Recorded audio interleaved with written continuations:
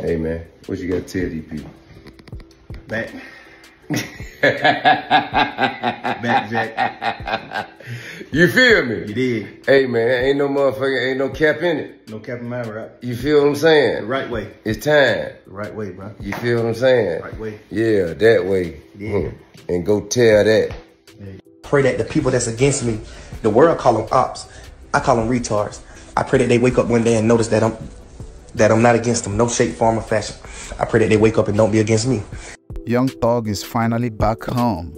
We have T.I. paying Young Thug a visit. They were in the studio trying to record some new music.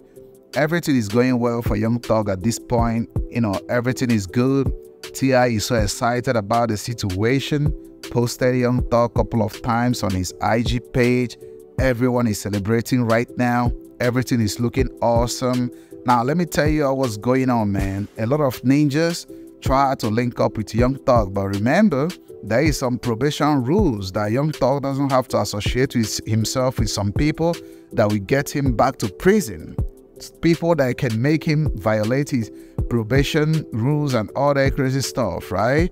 But you know, T.I. is a real one. T.I. has been supporting Young Thug for a very long time. You know, that's his brother for real. So I really appreciate what T.I. is doing for Thug at this point, bro.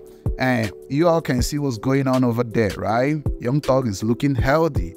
Now, they say that he has some health challenges and all that stuff, but he needed to get back to the money. Remember, Thug has been spending a lot of money on those legal fees. I mean, he spent millions of dollars on those legal fees, bruh.